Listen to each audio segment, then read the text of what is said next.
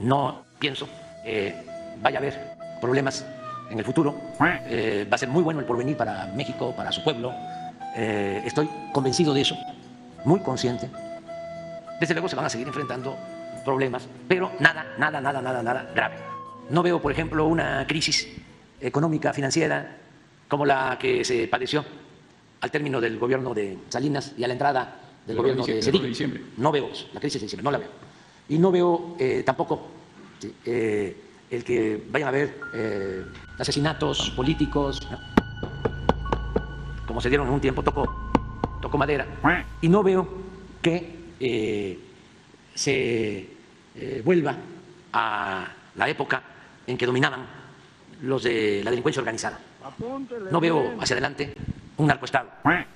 Y no veo tampoco una amenaza de sometimiento, de intervención de ningún gobierno extranjero.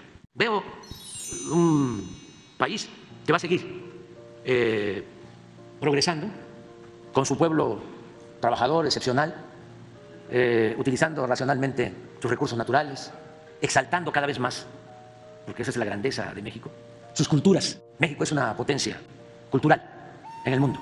No tengo duda de eso.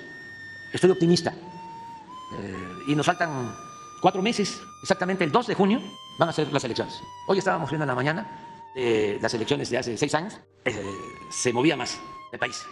Había más movimiento, incluso confrontación. Lo que pasa es que se olvida eso. Ahora está bien